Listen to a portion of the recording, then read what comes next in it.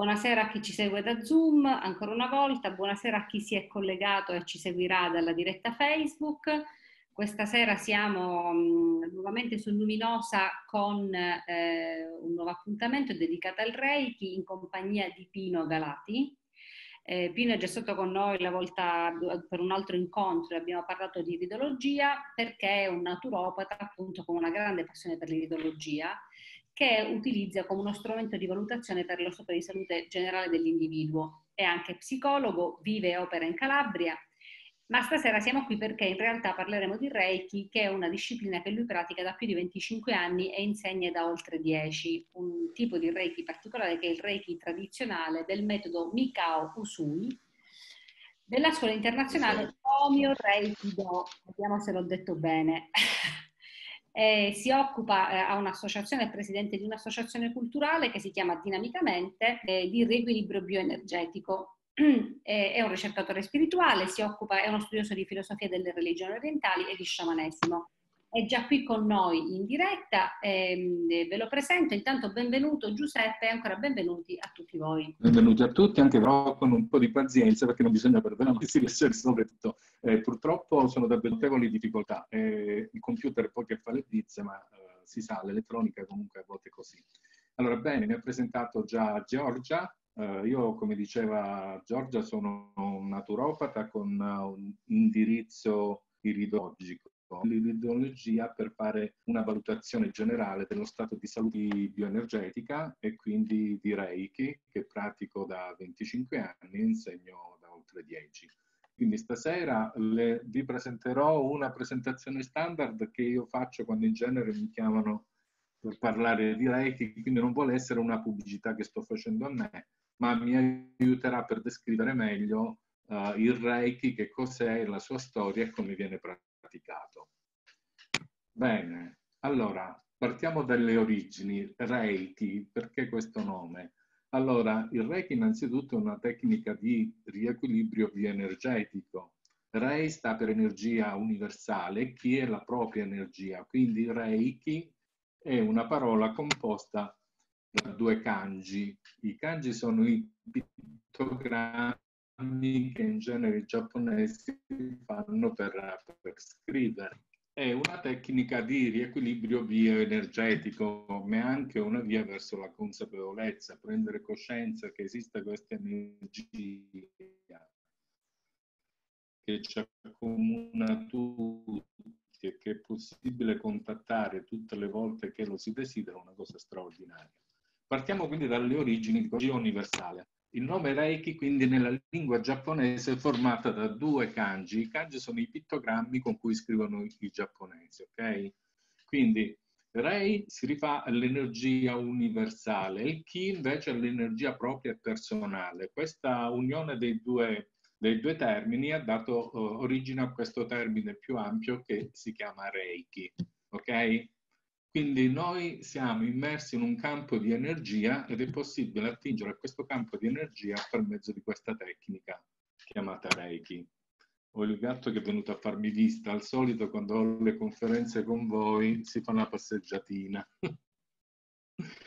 allora, che cos'è questa energia universale? Noi sappiamo benissimo che. Ehm, siamo immersi in un campo di energia. Eh, questo campo spesso noi eh, ci sembra tutto vuoto, in verità tutto quello che appare vuoto è invece pieno di energia. Quindi la distanza che noi troviamo tra un corpo luminoso e un altro, quel vuoto apparente, è tutta energia. Quindi invece noi non diamo senso a queste cose. Noi abbiamo la possibilità di attingere a questa energia universale attraverso la tecnica del Reiki. Scusate un attimo che allontano un po' il micetto. Eh? 18.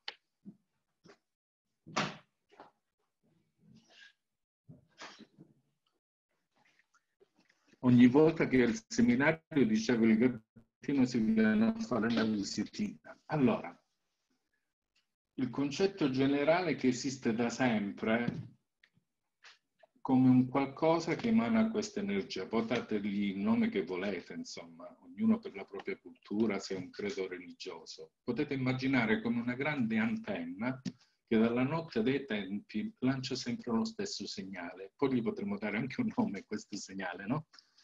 Ehm, perché accade che spesso ci si ammala? Ci si ammala quando le persone perdono contatto con questa energia, o meglio, perdono contatto un po' con se stessi. Si crea la disarmonia. Eh, disarmonia o disarmonico ci indica qualcosa che non è in armonia, non è più in sintonia. Quindi è come se noi fossimo scollegati da questa energia, da questa antenna che vibra dalla notte dei tempi, vi dicevo, e manda sempre lo stesso segnale. Questo segnale ha molta influenza su di noi, non chiamiamolo campo magnetico assolutamente perché non è così, però sappiamo benissimo che noi percepiamo questa energia attraverso il nostro corpo sottile. Quindi a livello olistico, eh, il concetto generale è che nell'olismo noi consideriamo l'essere umano come un tutt'uno, non un insieme di organi scomposti come fa la medicina allopatica, no? Se uno ha problema al fegato va dallo specialista, se ha problemi ai reni, quindi bisogna andare dagli specialisti. In verità, in senso olistico, l'essere umano non è stato mai scomposto, viene visto sempre come un tutt'uno di mente, corpo e spirito. Quindi io mi soffermo un attimo su questa, su questa particolarità. Quando noi parliamo di spirito, di animo, parlando di noi stessi, cioè la nostra capacità di essere in sintonia con noi stessi. Quindi qui ho messo questa immagine per farvi capire che il nostro campo magnetico, la nostra aura, percepisce questo, questa energia, però se siamo disarmonici noi è come se la nostra antenna ricevente non capta più il segnale originario, capito? Quindi io mi considero un po' come un antennista che deve riparare le antenne riceventi che devono percepire il segnale per come dovrebbe arrivare. Allora. Io ho messo questa immagine che riguarda un po' il chakra, penso che gran parte di chi starà seguendo il seminario capisce bene cosa vuol dire. Eh, questi sono i nostri chakra, abbiamo un chakra afferente e un chakra efferente, nel senso che c'è un chakra che risucchia l'energia, quella positiva, e poi quello efferente deve mandare via l'energia esausta che abbiamo noi, un po' come quando respiriamo. Se inspiriamo e prendiamo ossigeno, dobbiamo restituire all'universo l'anidride carbonica che abbiamo prodotto, un dot des. Quindi c'è uno scambio continuo tra noi e l'universo e i nostri chakra sono quelli che maggiormente percepiscono il tutto. Allora, cosa fa un terapista Reiki? Il terapista Reiki ehm, deve ristabilire gli equilibri energetici e lo fa con, con le mani. Guardate bene, io non uso mai il termine imposizione delle mani perché non si impone proprio nulla. È uno scambio di energia fra il terapista e la persona che ha bisogno di ricevere questa energia. Poi vedremo che ci sono diversi livelli nel Reiki, no? Il primo livello serve per, per aiutare se stesso, per guarire se stesso, le persone vicino a sé. Il secondo livello, poi vedremo, si può mandare energia a distanza a persone che sono lontane da noi, magari dall'altro capo del mondo. Quindi il Reiki serve per ristabilire armonia e salute nelle persone ma è anche un ottimo antistress, vedremo, perché eh, accade una cosa bellissima quando si pratica il Reiki, ci si rilassa fondamentalmente. Allora, parliamo un po' delle origini. Eh, lo scopritore del metodo è un monaco eh, buddista che si chiama Mikao Usui, si chiamava. Allora, la sua storia è un po' tutta particolare, ci sono parecchi libri che parlano di Reiki, però molti travisano un po' la vera storia, nel senso che si scrive di tutto e di più, pertanto chi, chi compra solo un libro di Reiki magari dice vabbè è così, la storia è interessante sicuramente, però per quanto mi riguarda, poi vi, vi spiegherò anche perché, noi conosciamo molto bene la tradizione, la storia, le origini di questa figura uh, leggendaria, possiamo dire così, che è stato Mikao Tsui, allora, vi parlo di questo personaggio che sicuramente è molto, molto interessante. Allora, eh, innanzitutto egli proveniva da una famiglia di, di, discendenti di samurai, praticava arti marziali, era medico, era filosofo, studioso di religioni e, mm, e quindi era molto curioso, al di là di tutto, egli insegnava in una università giapponese. Un giorno un allievo gli fece una domanda molto molto importante a cui lui non seppe rispondere la domanda era come faceva Gesù a guarire gli ammalati? Eh, bella notizia, bella, bella domanda. A questa domanda eh, si aprirono tanti, tanti punti interrogativi. Allora volle capirne di più. E per capirne di più, Mikausu in un certo momento si ritirò sulla montagna più sacra del Giappone e meditò per 21 giorni. Eh, questa meditazione praticamente con digiuno ehm, gli permise di arrivare a un qualcosa. In verità uh, non accadde nulla di particolare. Fino all'ultimo giorno, in pratica, lui rimase su questa montagna a meditare, a pregare, però non accadeva nulla. Quindi si convinse che le sue richieste di comprensione, di capire il dono della guarigione, cosa potesse essere, non fosse stato esaudito. E, ehm, però accade una cosa proprio mentre lui decideva di tornare giù dalla montagna che gli fece cambiare prospettiva. Cominciò a vedere qualcosa di particolare, pensava di essersi un attimino allucinato. Mentre scendeva giù, magari stanco per il digiuno e per tutta una serie di cose, ruzzolò lungo un viale e si fece male alle gambe. Istintivamente quando noi ci facciamo male avviciniamo le mani ai nostri arti, comunque è un gesto istintivo, atavico che tutti quanti abbiamo quando ci facciamo male da qualche parte ci mettiamo la mano quasi a darci sostegno. E dopo un po' si accorse di stare bene, ma non ci fece molto caso, la, la reputò come, come, una situazione normale. Quindi riprese il suo cammino, tornò nel suo villaggio e lì si accorse che ogni volta che avvicinava le mani al suo corpo, le mani le sentiva calde e sentiva scorrere qualcosa. E allora si mise a riflettere, dice, ma allora, cioè io sono rimasto su questa montagna, apparentemente mi è sembrato che non fosse accaduto nulla, ma invece era accaduto tutto. Si ricordò che mh, prima di tornare giù vide come delle sfere luminose che gli ruotavano intorno con delle luci colorate, ma lui pensò che fosse dovuto al digiuno tutti quei giorni senza mangiare in preghiera pensò che fossero delle visioni dovute alla stanchezza psicologica. Comunque, detto ciò, eh, comincia tutta la storia del Reiki, quindi ricevette il dono della, della guarigione. Però, però c'è un però. Contrariamente a quello che avviene nelle altre culture, io vi faccio un esempio, no? succede anche in Italia, quando c'è un guaritore o una persona che ha un particolare carisma e riesce ad aiutare a guarire gli altri, in genere lo fa per, per avere un profitto, insomma, no? Eh, non dico che chiede chissà che cosa, però in genere queste persone poi vivono delle offerte che gli vengono fatte dalle persone che vengono aiutate in questo loro percorso di guarigione.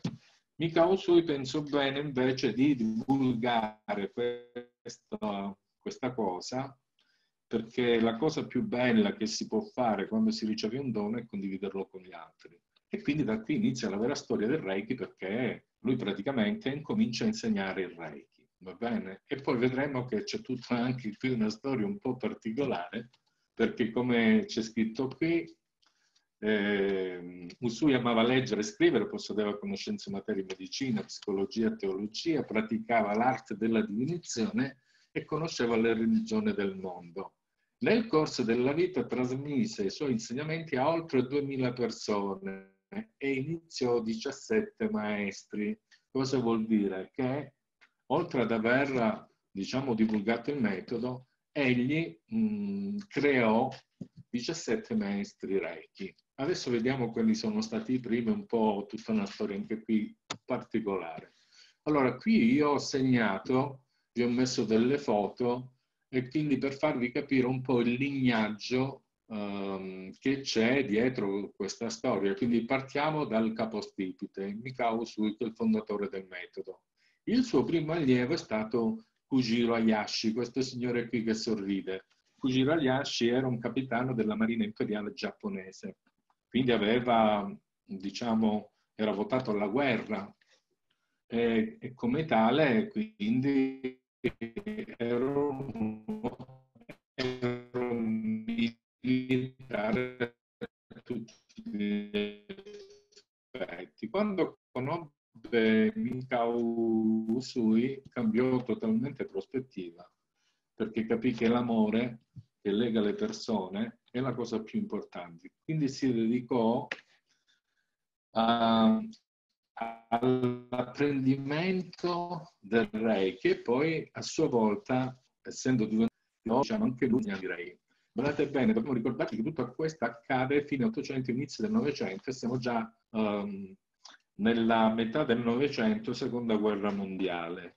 Seconda guerra mondiale, noi sappiamo che i giapponesi sono stati sconfitti e quindi sono stati, come dire, rilegati, malvisti.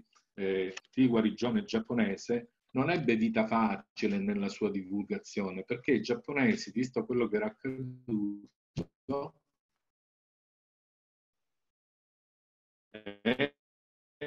erano visti in malo modo. Perché vi sto dicendo questo? Perché poi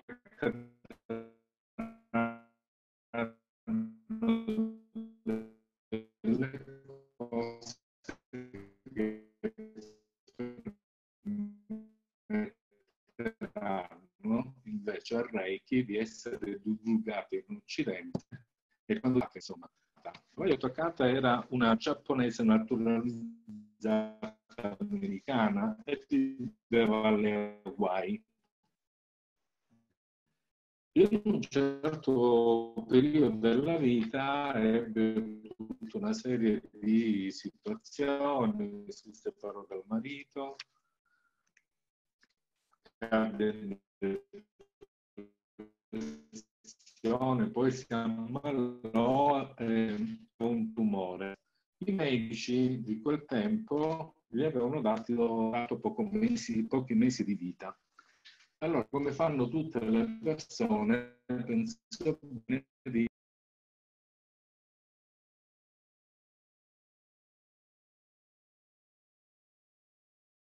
Abbiamo un problema tecnico. Vediamo se riesce a ritornare. Ma siete riusciti a sentire anche voi poco? Cioè sentivate anche voi la... Sì, era un po' disturbato. Vediamo se riesce a ritornare. Allora, ecco. mi vedete? Ci stiamo ancora? Giuseppe, l'audio è... Stasera un... è stata sofferta, ci vuole un po' di reiki. Eh, sì, diciamo che si, si, sente abbastanza male, cioè è un po' come dirti. Un po' robotico. Allora, io vi sento benissimo. Robotico.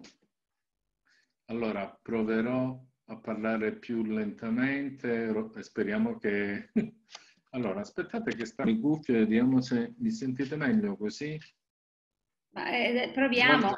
Credo che sia un problema principalmente di connessione, cioè veramente diciamo purtroppo, non...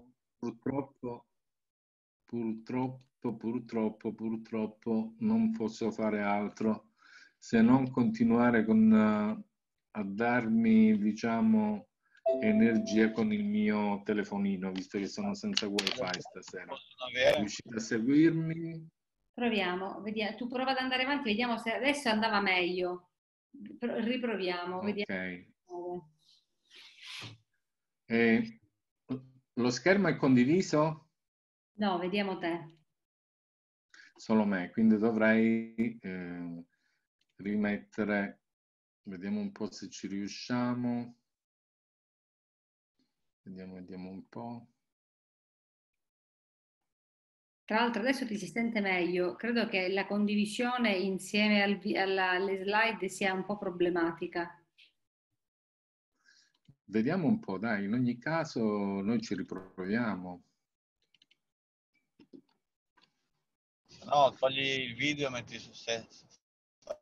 Allora, audio, slide le mandi. Allora ragazzi, io capisco che stasera è un po' problematica.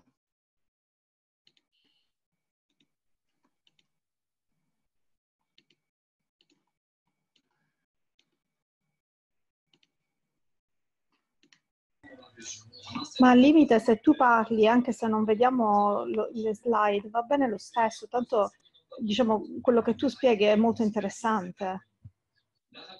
Eh, ma io, io, non vi vedo più nemmeno, vedo solo, mi appare, aspettate, vediamo se... Ah, ecco qua, dai. Mi si era rimpicciolito lo schermo, però ecco, mostrarvi delle slide forse poteva essere anche abbastanza carino Vediamo un po'. Riusciamo a vederlo, a vedere qualcosa? Sì, adesso sì. Ok. Eh, eravamo arrivati alla signora Vaio Takata che si ammala di tumore. C'eravamo fino qui? Sì. Ok. Avaio Takata quindi sa, ritorna in Giappone per salutare un po' i parenti e sa, riesce a sapere per vie diverse che esiste la clinica perché in Giappone si usava mettere su queste cliniche Reiki. La prima clinica l'aveva aperta già Usui, un'altra clinica l'aveva aperta Avaio Kujiro Ayashi. Quindi erano un po' come degli ospedali dove si praticava Reiki tutti i giorni alle persone che andavano lì a farne richiesta. Riuscite a seguirmi? Mi sentite? Sì, sì. Ok, perfetto. Diciamo che era molto molto incredula e c'era andato con, una, con un po' di... con la mosca sul naso, diciamo così, molto molto scettica, incredula e ci va, diciamo, giusto perché era l'ultima, l'ultima chance. Il, il tempo che gli era stato diagnosticato come tempo finale era oramai scarsuccio e quindi dice proviamo Uh, si presenta da Kujirayashi e incomincia ad avere, a ricevere i primi trattamenti Reiki. La cosa che accadde quando iniziò a ricevere i trattamenti fu del tutto singolare, nel senso che lei era sdraiata sul lettino, a un certo punto si sentiva sobbalzare su questo letto. E allora pensò da Gran Furbona, dice qui c'è qualcuno che mi vuole fregare sotto il letto per impressionarmi un po' lo muovono, lo spingono per farmi chissà capire che c'è questa energia. E allora, molto astutamente, diciamo così, cosa fa? Si piega con la testa sotto il letto, va a guardare ma non c'era proprio nessuno. E allora incomincio a riflettere, dice ma com'è possibile? Io mi sento sobbalzare come se ci fosse qualcosa da dentro che, che mi sospinge Mm, e quindi incominciò ad abbandonare quel senso di scetticismo e piano piano capì che proprio era l'energia Reiki che stava facendo il suo lavoro. In definitiva la Vaio Takata guarisce. Guarisce e diventa allieva diretta di Kujira Yashi, questo signore qua che vedete nella foto. Ok, allora la storia incomincia a diventare un po' più interessante. Mm, avevo prima detto che tutto accadeva a cavallo della seconda guerra mondiale, i giapponesi avevano perso la guerra, c'era l'embargo e quindi erano isolati. Come fare per far passare nel mondo occidentale questa tecnica di guarigione giapponese? Allora cosa si inventa Bayo Takata? Si inventa che Mikao Usui era un monaco cattolico e quindi non buddista, in verità uh, Usui è stato sempre un monaco buddista della setta della terra pura. Guardate bene, quando parliamo di setta la connotazione non è come quella che c'è qui da noi in Italia o in Europa, che per setta si intende qualcosa di negativo. In Giappone setta è quella che noi chiamiamo religione, va bene? Ce ne sono due. Una della terra pura, a cui apparteneva uh, Mikao Usui, e poi c'è un'altra di cui non ricordo il nome. Guardate bene, la cosa strana è che la moglie di Mikao Usui apparteneva all'altra, chiamiamola religione, che tra virgolette hanno pochissime cose che non siano in comune, solo piccole differenze, poi in sostanza sono la stessa cosa. Comunque la situazione è così. Avaio Takata quindi racconta questa bella frottola dicendo che Mikao Usui era un monaco cattolico E così con questa bella bugia la cosa venne accettata. Se avesse detto che Mikao Sui era stato un monaco eh, buddista, probabilmente la cosa non, non sarebbe stata accettata facilmente dall'America, soprattutto perché Avaio Takata incomincia a divulgarlo in America e poi dall'America incomincia ad allargarsi ed è arrivata anche qui da noi in Europa. Quindi Avaio Takata racconta questa grande bugia e sui libri di Reiki, infatti su molti libri c'è scritto che Mikao Sui era un monaco cattolico, niente di più oh, falso. Ok. Allora, adesso vi presento queste altre due persone. Kujiro Yamaguchi, se badate bene, guardate le date, 1921, stiamo parlando di tempi abbastanza recenti, eh? un secolo fa, d'accordo, io ho 60 anni, per cui per me 1921 non mi suona tanto lontano. E poi c'è Yakuten Inamoto, questo monaco qui.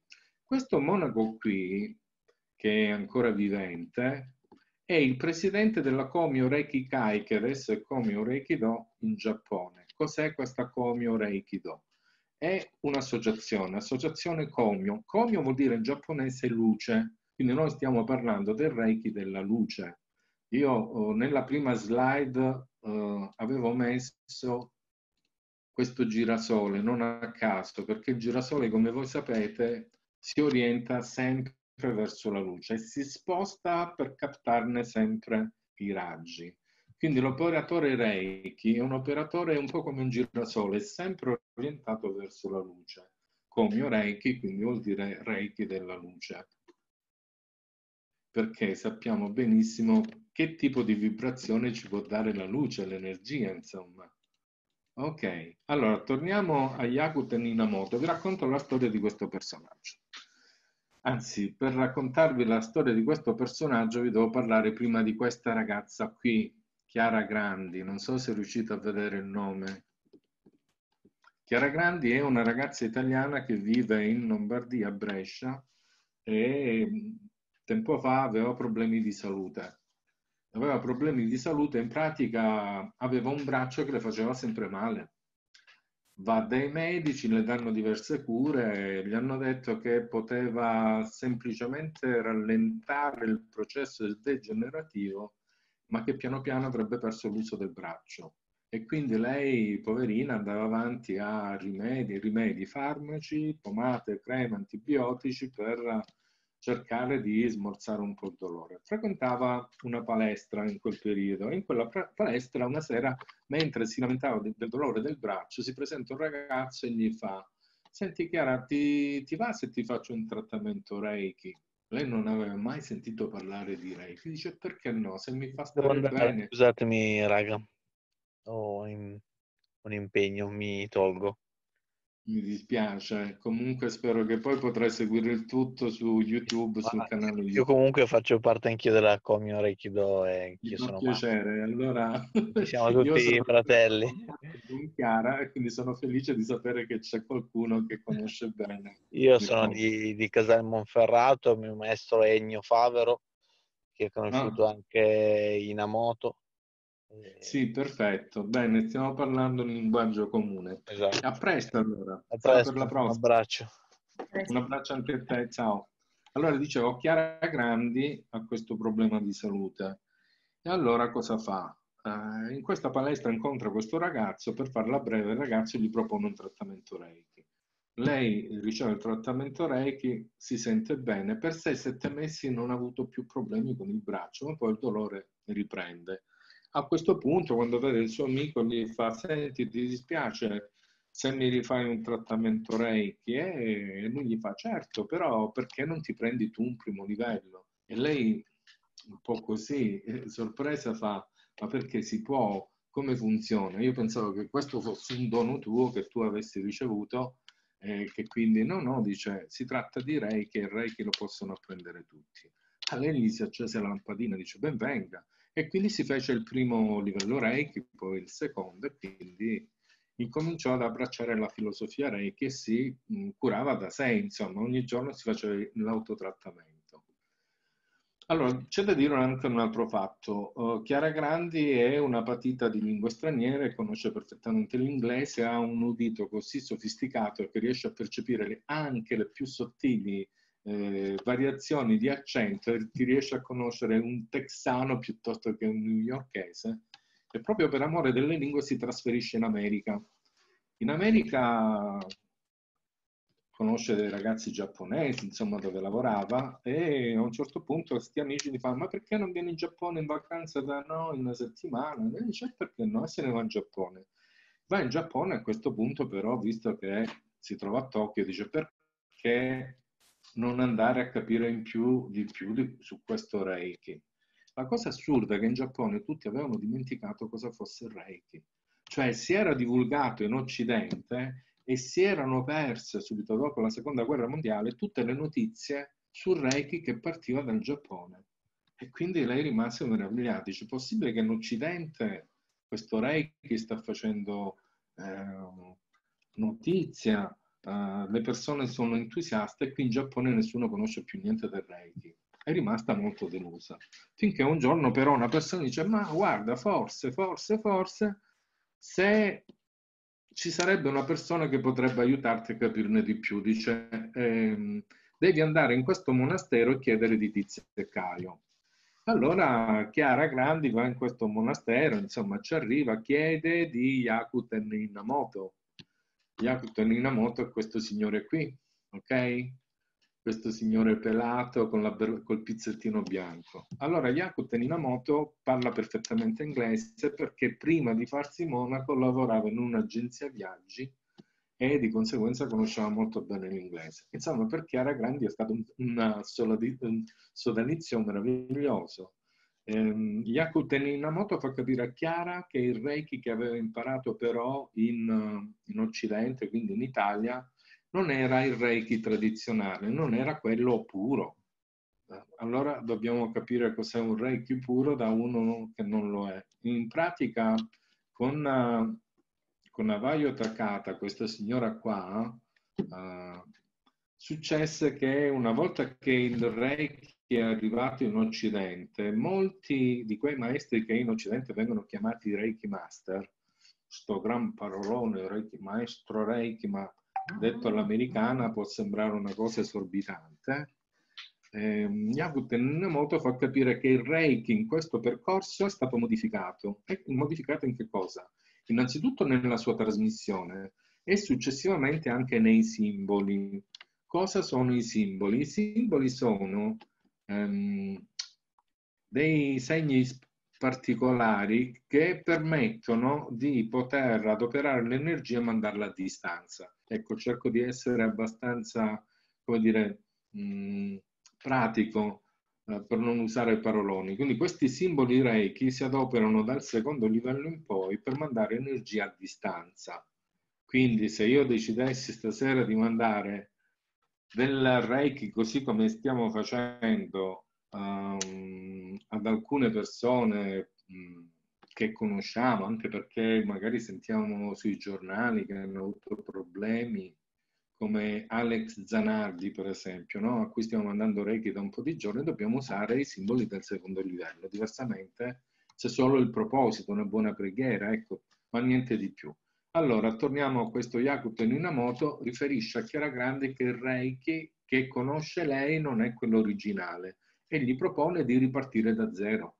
Dice riprenditi il primo livello, il secondo, e così fece. Riprese il primo, il secondo, il terzo livello e poi divenne maestra Reiki, ma di quello tradizionale, quello puro che ancora veniva trasmesso, viene trasmesso in Giappone grazie a Yakuten Inamoto che l'ha ricevuto da Kujiro Yamaguchi, che è stata l'ultima insegnante vivente. Lei è morta nel 2003 quindi, grazie a Kyoko Yamaguchi, che trasmise a Yakuten Unamoto il Reiki originale, è arrivato, uh, grazie a Yakuten Unamoto, anche qui in Europa e in Italia, grazie sempre a Chiara Grandi.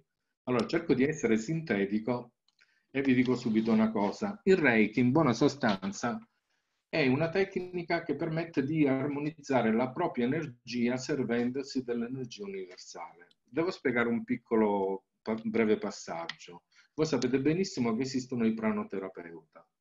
Il pranoterapeuta è una persona che ha una sua energia e eh, la usa quando deve mettere in equilibrio l'energia delle altre persone. È un po' quando noi abbiamo la batteria della macchina scarica e chiediamo a qualcuno se ci permette con i propri cavi di collegarsi alla nostra ad aiutarci a partire. Non so se riesco a essere esaustivo a farvi capire. Quindi il pranoterapeuta è come se fosse una batteria carica che deve dare energia a un'altra batteria, una macchina scarica. Ok? Quindi nel fare questo però, quando noi prendiamo energia da un'altra batteria, quella, la batteria più carica però piano piano si scarica e nel medio-lungo termine questi pranoterapeuti spesso si ammalano perché non hanno più energia, pure di darla agli altri. È, perché vi ho fatto questo esempio? Perché nel Reiki non è così. Nel Reiki si prende l'energia universale, si riceve questa energia tramite le mani, viene, eh, diciamo, distribuita agli altri oppure a se stessi. Quindi non andiamo a inficiare il nostro, come dire, mm, il nostro coefficiente energetico, anzi aggiungiamo altre energie e rimettiamo a posto la nostra. E quindi questa è una cosa straordinaria. Perché nel momento che io decido di mandare per esempio energia a Giorgia o a Stefania, nel momento che io faccio questo, nel passare questa energia da me a Stefania oppure a chiunque, a chiunque altro, un po' di questa energia rimane su di me. Se poi decido di farlo per me stesso, ancora meglio. Quindi il, re, il um, reverendo Yakuten Inamoto adesso viene in Italia almeno una volta all'anno e fa anche lui dei seminari di attivazione Reiki. Allora, qui eh, questa foto è stata scattata in Calabria quando Chiara Grandi veniva qui a insegnare a me e a tanti miei amici il Reiki, premesso che io già prima di prendere il Reiki con Chiara avevo già esperienze, avevo avuto già altri maestri, però poi decisi di abbracciare il Comio Reiki perché l'ho trovato molto più interessante, molto più intenso. Qui ci troviamo in una grotta in Calabria, si chiama Montestelle ed è sopra Stilo. In questa grotta c'è una statua bellissima della Madonna, si vede poco, però è una statua bellissima e c'è un'energia in questa grotta che è una cosa straordinaria. E qui siamo ai piedi del Monte Consolino, sulla parte ionica di eh, Stilo, che è, stata una, che è una città molto importante, la città del sole cosiddetta. Ok, allora, Qui sono io con Chiara Grandi a Serra San Bruno, non so se lo conoscete, e in occasione di uno dei suoi viaggi, quando veniva in Calabria, poi le facevo un po' conoscere la Calabria. Serra San Bruno è un luogo molto molto spirituale e ricco di energia, quindi eh, l'energia è una cosa con cui si va a braccetto. Bene, parliamo adesso della tecnica di autoguarigione. Vi ho fatto un po' la storia generale eh, e quindi cosa voglio dire? Grazie a Chiara Grandi il Reiki, il Reiki è stato divulgato in Italia e in Europa, ma il vero e autentico Reiki. A detta di molti che sono stati anche allievi miei che avevano iniziato percorsi con altri, si sono accorti che questo tipo di Reiki è molto più potente, è molto più incisivo, è molto più coinvolgente. Questa è una seduta di Reiki, ci sono tre persone che trattano contemporaneamente una paziente c'è chi sta trattando il collo, il petto, eh, qui l'intestino stomaco. Adesso vi voglio far vedere alcune cose. Allora, cos'è il Reiki? Cosa fa questo Reiki? L'energia ha la capacità di riordinare nel nostro corpo i processi che hanno provocato disturbi e malattie e li riportiamo alle leggi della vita. Cosa vuol dire questo? Mettiamo in armonia la persona con l'energia, con se stessa innanzitutto. Le persone che in, noi in campo olistico o in naturopatia o miopatia sappiamo che la malattia nasce non perché è una cattiveria, perché Dio ci manda chissà quali disgrazie, non è affatto così. La malattia sorge nel momento in cui c'è uno squilibrio interiore, quindi recuperare questo equilibrio è molto importante. Il Reiki è un'energia che viene definita energia dell'amore, che mette in equilibrio proprio tutto quanto. È una profonda energia curativa che agisce sia sul piano fisico, mentale, ma soprattutto spirituale. Allora, cosa fa un terapista Reiki? Niente, il terapista Reiki fa una cosa semplicissima. Prima di iniziare un trattamento fa la centratura. Quando dico centratura vuol dire che mette le mani sul petto, sul cuore. Quando si sente pronto e accade una cosa meravigliosa, le mani incominciano a scaldarsi, allora inizia a fare il trattamento. E cosa succede? Succede che quando facciamo il trattamento le persone iniziano subito a rilassarsi, da uno stadio da uno stato beta si passa a uno stato alfa. Cosa, cosa voglio dire? Che le nostre frequenze cerebrali rallentano. Quando siamo in beta, eh, in beta vuol dire qui, questo giallino, le nostre frequenze sono molto, molto, molto veloci. In genere quando accade questo? Quando siamo in uno stato di surmenage psicologico, quando siamo stressati. Immaginate di di essere in coda in autostrada perché c'è stato un incidente e siete imbottigliati in una fila che non finisce più, ci si stressa. E in questo caso le nostre frequenze cerebrali hanno una frequenza molto più veloce. Se passiamo da beta ad alfa, notiamo che la frequenza rallenta. Quindi la prima cosa che succede quando facciamo un trattamento Reiki, mettendo le mani così vicino alla testa della persona, la persona inizia a rilassarsi e dopo un po' addirittura si addormenta e scende in uno stato di sonno profondo, ma non è importante o no che si addormenti, può anche non addormentarsi, ma questo è sinonimo che il Reiki sta agendo in profondità, la persona si sta abbandonando, si sta lasciando andare tranquillamente. Quindi il trattamento Reiki quindi inizia così, si fa prima la parte prona um, e poi quella supina e, e cosa succede? Che ogni Ogni volta che noi mettiamo le mani in un punto dobbiamo lasciarlo mediamente tre minuti.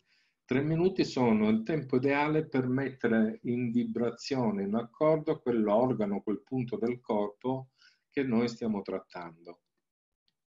Allora, queste sono... Allora, dicevo, io ho fatto un piccolo errore prima. Prima ho detto prona, noi iniziamo sempre dalla parte supinina, la parte eh, anteriore. Se notate, se notate si inizia dagli occhi, poi si passa alle tempie, queste sono tutte le fasi della parte supina. Mediamente per fare un trattamento completo ci mettiamo un'ora. Questa è la parte prona. La parte prona, a differenza di quella supina, invece di tre minuti basta un minuto e mezzo, perché nella parte supina noi trattiamo tutti gli organi, incominciando dalla gola, passiamo al cuore, polmoni, fegato, milza, pancreas, intestino e poi organi genitali, reni e quindi stiamo trattando tutti gli organi. Nella parte prona basta un minuto e mezzo, basta un minuto e mezzo e quindi mediamente diciamo che nell'arco di un'ora riusciamo a completare un trattamento completo. Quindi a cosa serve il Reiki? A riequilibrare la propria energia, l'energia degli altri, quindi questo a contatto quando io col primo livello io posso trattare le persone solo a contatto, se ci sono vicino. Posso con il Reiki rimettere in equilibrio l'energia degli ambienti, ok? Quindi della propria casa, delle proprie stanze. Dare energia a una pianta che vedo che è un po' malaticcia, che, che fa fatica a crescere. Oppure dare energia all'animaletto di casa, al cane, al gatto, al pesciolino, alla tartaruga. Ok? Mi serve anche per eliminare controindicazioni da farmaci, nel senso che spesso noi sappiamo che i farmaci che vengono adoperati, se leggiamo il bugiardino, hanno un sacco di controindicazioni. Quando noi mettiamo mh, i farmaci nelle nostre mani, dopo un po' sentiamo i fuochi d'artificio come scariche elettriche e ci indicano quante controindicazioni ha il farmaco e riusciamo a migliorare il principio attivo del farmaco e diminuire quelli che sono gli effetti collaterali o gli atrogeni da farmaco. Riusciamo a purificare, possiamo purificare il cibo e l'acqua, mitigare effetti di sigarette e vino. Addirittura se noi trattiamo le sigarette delle persone, a volte facciamo degli scherzetti, no? qualcuno che fuma, prendiamo le sigarette, le teniamo in mano poi gliele diamo alla persona che fuma, dopo un po' dice ma che schifo questa sigaretta, ma prima mi sembrava più buona.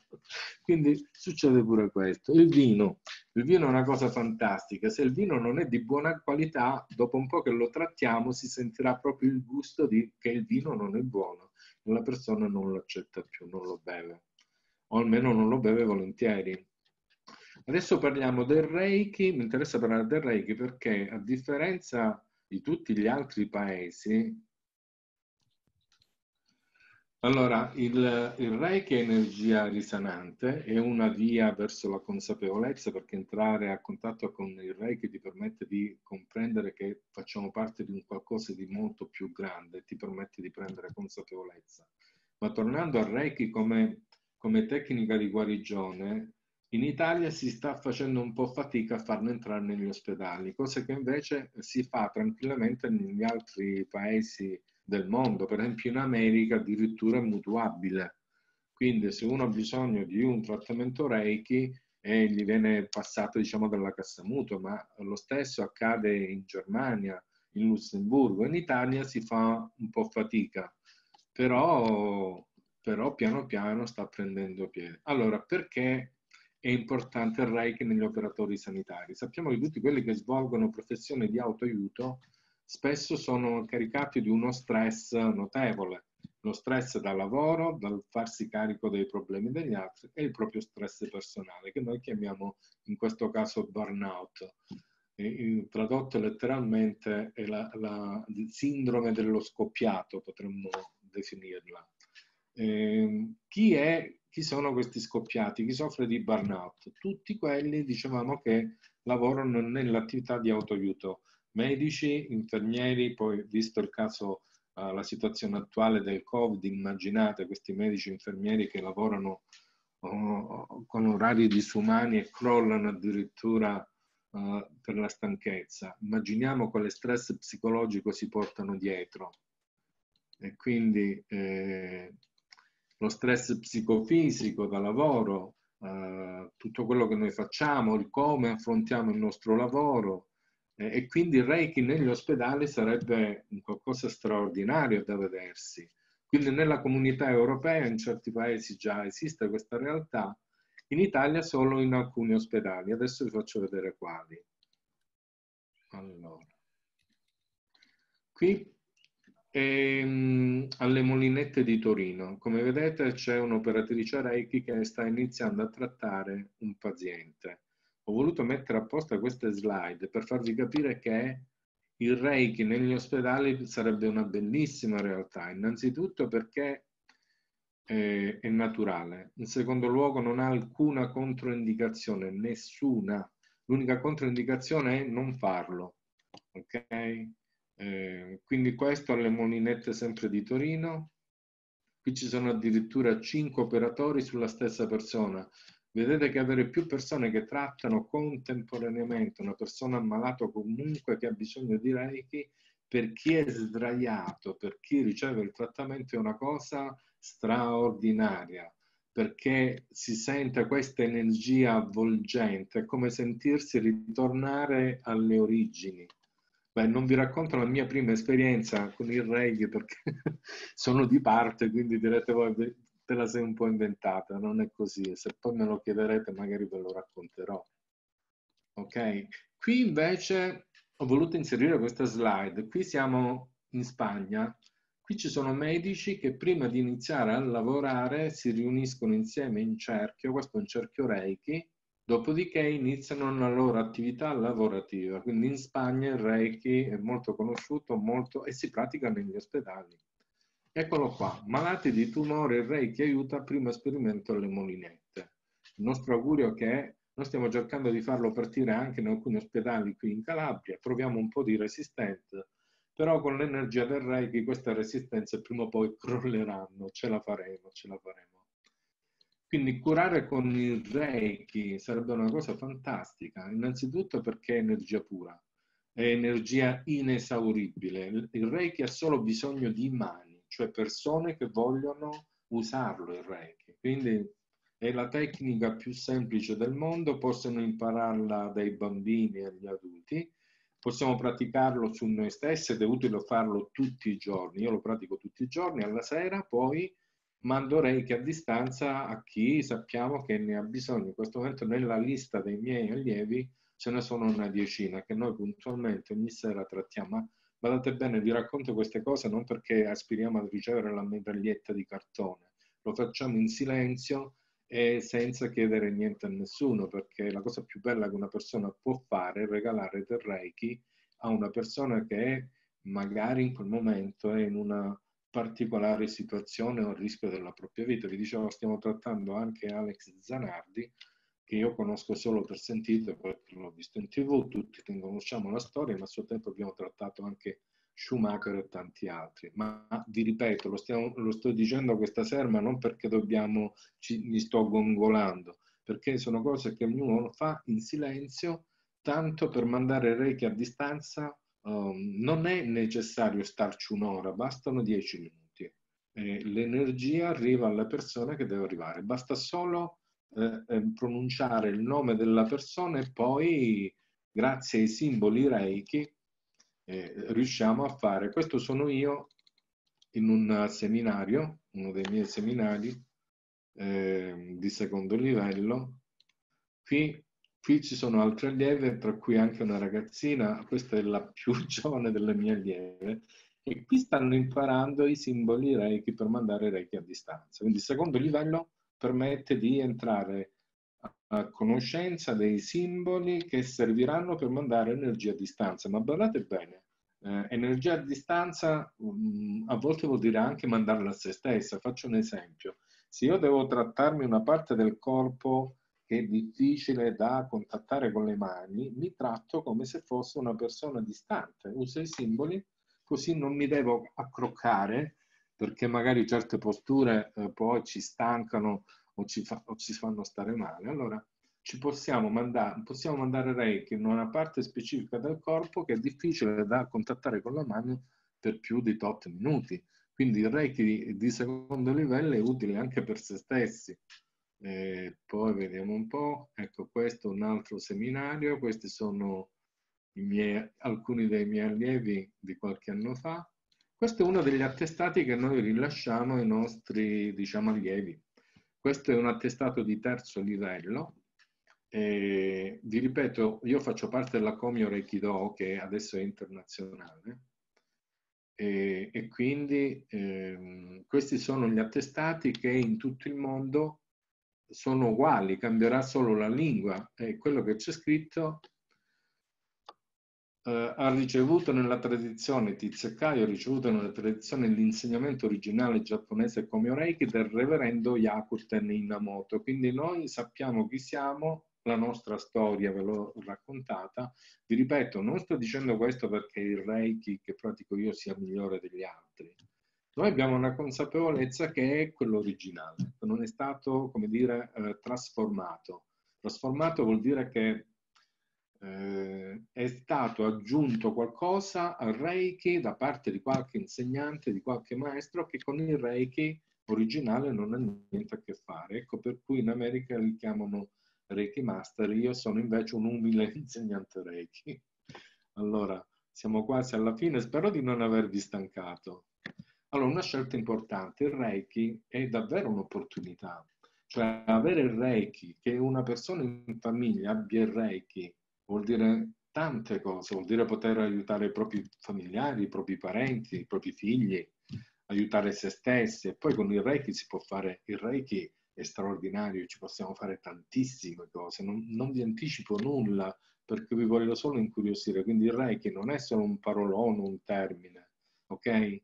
Quindi qui c'è il numero mio per chi vuole prendere contatti, per chi vuole eh, saperne di più se no, ecco, potete andare su questo sito, che è il mio sito, dove spiego tutto su Reiki, la mia storia personale con il Reiki. Ripeto, io oh, lo pratico da 25 anni, lo insegno da quasi 11 e mi trovo benissimo. Ho parecchi allievi in Calabria, in Sicilia, in Campania. Io mi sporto nel sud, al nord ce ne sono già tanti e va benissimo così. Comunque mi considero un maestro errante dove mi chiamano vado. Una volta ero l'opposto, una volta io ricordo ai tempi miei se volevi il Reiki dovevi partire nottetempo, insomma un sacco di soldi da spendere, andare a trovare il maestro. Beh, adesso alcuni di noi, io faccio così, insomma, non mi faccio problemi. Eh, un seminario Reiki lo si può organizzare in qualsiasi maniera e quindi la cosa importante è che ci siano persone che vogliono impararlo. Imparare il Reiki non è una cosa complicata, l'allenamento al Reiki inizia subito dopo averlo uh, ricevuto. La cosa importante che non ho detto, ma perché eh, non c'è stato, non l'ho inserito nelle slide, il Reiki viene trasmesso da maestro ad allievo. Potete comprare tutti i libri del mondo sul Reiki, potrete imparare cos'è, ma non potrete praticarlo. Il Reiki si trasmette da maestro a discepolo eh, con tutta una tecnica particolare, si usano dei mudra, questi sono i mudra, questo mudra, questo è un mudra, quindi per magnetizzare l'energia si usano i mudra e poi grazie al mudra arriva questa energia che viene trasferita agli allievi. Potremmo parlare di mudra in un'altra occasione, per esempio questa è la Panamudra. La Panamudra, se guardate bene, è il mudra che praticava Gesù, ok? se andate nella cattedrale di Palermo, anche quella, com'è quella cattedrale lì vicino Palermo, quasi appiccicata? Monreale. Dove c'è il Monreale, la cattedrale di Monreale, c'è il Cristo Pantocratore, questo mosaico bellissimo, e si vede Gesù che fa così. Bene, questi sono i mudra. Questi mudra hanno molto a che fare con la medicina tradizionale cinese, sono dei sigilli. Quando noi, per esempio in meditazione, si fa questo, no? Pollice, indice, polmone, intestino, ok? Sono due meridiani. Quindi Gesù li conosceva molto bene i mudra e quando pratica questo sta facendo qualcosa in particolare. Non nella trasmissione del Reiki usiamo i mudra. Ce ne sono poi fantastici, ma alcuni non si possono dire così. Bisogna frequentare dei corsi che sono particolari e poi si entra a contatto con queste conoscenze specifiche che vi aprono la mente. Bene, un, un Reiki luminoso abbraccio a tutti e magari ci in un'altra ne parleremo di mudra o di altro. Ci ritroviamo presto, intanto grazie per il tuo tempo e per aver partecipato. Eh, grazie, grazie, grazie a voi. Zoom sulla diretta. Eh, ci rivediamo presto con tutti. Ciao, buona serata a tutti.